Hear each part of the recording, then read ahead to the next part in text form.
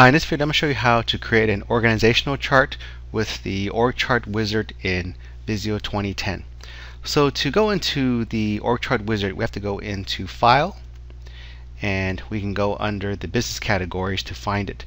Now you know, might have noticed that it is up here. I have it up here the organizational chart wizard here because I had opened it previously but if you hadn't opened it previously it's under the business category. Let me go ahead and double click that and then you can find the org chart wizard here. So if I click or double click on that, it's going to open up the org chart wizard and it's going to go through some steps here. So it's going to ask you if you want to create your org chart from a file or database or information that you're going to be entering. For the most part, if you are using this chart, we're going to assume that you have a file, an external file from Visio where it's where your organizational chart sits in. So it could be a text file, uh, .txt file, or a CSV file, or an Excel file. It could be on an Exchange server, or it can be on an ODC, ODBC compliant uh, database type file. In most cases, or in my case that I'm going to go ahead and show you an example of, is it's going to sit on Excel. So let me go ahead and open with the Excel. This is what it would look like. It's going to be a very simple um, org chart that is laid out by rows.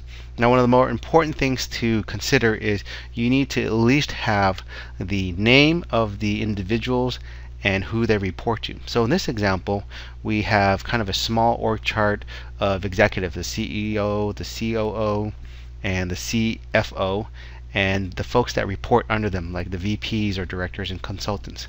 So we have this first column that is the name, and then our second column is the title, and then this third column is who they report to. So at a minimum, you should have the name and who they report to. So Joe Smith is the CEO, he doesn't report to anybody, so it's assum assuming that Joe Smith is on the very top of the hierarchy. And then VJ here, which is the COO, reports to Joe, and we also have uh, Carl here, the CMO reporting reporting to Joe, and Mary Lee, the CFO, reporting to Joe. So you can kind of visualize now how this hierarchy is going to flow down once we import it into Visio. So let me go ahead and go back to Visio. This is the file that we are going to import. Uh, you you got to have this file closed. I'm going to go ahead and close it out now. And let me go back into Visio. So in Visio, we're going to create our org chart from that file. Go ahead and click on Next. And this is going to be an Excel file. I'll go ahead and click Next here. Now I'm going to go ahead and browse for that file. I already have it uh, available here. Let me go ahead and click Next. And now it's going to pull that file and Visio is going to look and look at the fields and look at the name and the reports to. So I already have the column uh, where, where we have the names and it's going to pull out those columns here for you to select from and who it reports to. So I already have a reports to column. It also lists out the available fields within that file for the reports to. So it's already kind of picked it out. Visio was smart enough to pick it out. Uh, I'm not going to go ahead and choose this first name because it's optional. I'll go ahead and click next. And now it's going to ask which ones, which fields from Excel do you want to display. Um, I don't really need the have the reports to field display. All I want is just the name and the title, similar to how it's going to show up like this. Um, if you, you, you may have a file that has numerous other file um, field columns, maybe an email, a telephone number, uh, employee ID number. Um, that could be the extent of the file that you have, but this is something that I wanted to keep very simple. So that I only want to have the display of the name and title. So I'm going to go ahead and click on next. And then we want to show the column fields, the data file, what we want to add to the chart shape. So the, the background data that that doesn't need necessarily need to show up, but it is part of that shape. So that, that shape, if we had our telephone number, the email, the department that it report up to, we can still pull that in and that will be part of the shape fields, the data fields, but they don't necessarily need to show up, but they will be in the background for that field. So I'm going to have those three fields that I had in the Excel file be part of the shape data field, so that's okay. Go ahead and click on next. And now the, the last step here is we want to have the wizard automatically break the organizational chart in pages. So this is fine.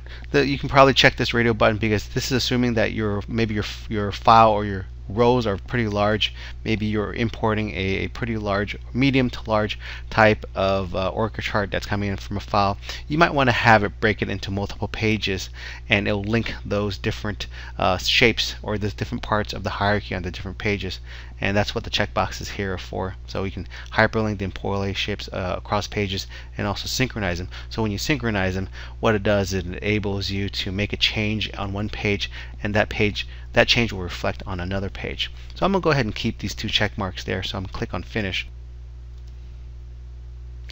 So we see Visio has actually kind of created this org chart for us now.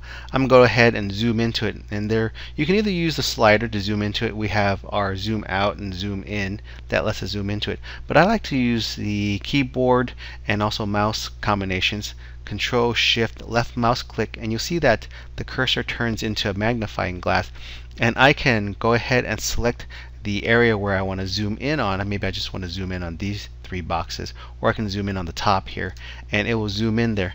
Now if you notice that it's kind of cut off here I can also kind of move it around by using the scrolls here. I can scroll up a little bit or the other keyboard uh, shortcut is control shift and then right mouse click and what happens is now when I move it around, you'll notice that the cursor turned into a little hand and I can also move it around. So, so, this gives me a little bit of flexibility in terms of adjusting the view of it. So now that I have my org chart kind of set up from the file, I can start modifying it. So maybe I'm just going to go ahead and reduce this a little bit and zoom out a little bit and go ahead and use control shift right mouse click to kind of move it up a little bit here. And let's say that I want to add uh, to Carl's. Maybe I have these shapes here. You see we have our shapes pane here. I wanted to add a manager under Carl. So I can go ahead and just select this and kind of just go over in the top. I don't need to put it here and then create another link here. I can just put it right over the top and Visio is going to tell us well, if you wanted to do that and have it automatically uh, make the lines uh, that are going to um, connect them together, it's you just need to put it on top of the shape. So if I click OK, you'll notice now it goes into the bottom and there is a connecting line shape there. So maybe for the name here, I'm just going to put um, another Joe, maybe Joseph, maybe Joseph uh, Lee, and maybe Joseph Lee is a consultant, right? And if you had other people to add under folks. Uh, you can add the position or consultant, which is a different shape. Um, maybe a vacancy, uh, a to be hired type of role. Assistant assistant can be put something under like the CEO. It's going to be put over to the side here. And if you had a multiple of people to put under folks, uh, there's this shape here that can let you put more than one. So if we put if we put this out here, maybe we put under Mary you'll notice now that at the bottom here, let me go ahead and control shift right mouse click and kind of move it down here. You'll notice now it has added three boxes here. So that this three position ones had added three boxes. Let me go ahead and control Z to undo that and show you another one. There's this multiple shapes one. If we didn't want to stick with just three, if I click on this and kind of moved it over Mary Lee to add it in there, it's going to come up with an additional window where I can select the amount of shapes I want to add and what type of shape. So you can have some flexibility in there to add other shapes uh, the number of shapes and also the type of shapes. Let me go ahead and cancel out of that. I'm not going to do anything adjusting here. Another thing I wanted to show is maybe adding a title to our page here. So I'm going to go ahead and control shift right arrow, kind of move it over here. And maybe I want to add a title here. When I print it out, I want to make sure that we have a title and we have the name of the company. So I can just type double click that, type ABC company just to make up some company name and that gives us the title of the company. Now if I don't want to have these grid lines, these grid lines don't really print out but if I don't want to see them anymore I can just go under view and then click on that uncheck that grid box and now it disappeared so if I click on this fit to page you'll notice now it's kind of a nice little view so those grid lines are there to help you out as a guide so you can line things up, line the shapes up nicely. So if we wanted to move shapes around, we can just click on the shape and kind of move it out. It's going to move uh, that shape plus any of the reporting shapes under it. And if I can I can move this one out over here on the right here. Or if I if I wanted to move a group of shapes, let me press Control Z to undo it. I can just go ahead and left mouse click and select that, it's going to select these two shapes and I can just move them aside and they're going to move together with their corresponding shapes. Now if I wanted to add a picture to these shapes, maybe for example our CEO has a picture, let me go ahead and zoom into that control shift left arrow, you see it turns into a magnifying glass. I'm just going to go and select that part. If I want to give Joe Smith a picture, let me go back into the org chart tab. Um, you, this is this will show up once you have an org chart. This org chart tab. Go ahead and select Joe Smith here. Go back into Insert and insert the picture of the CEO here. Double click that, and let me go ahead and just fit to page. We see now we have Joe here, our CEO.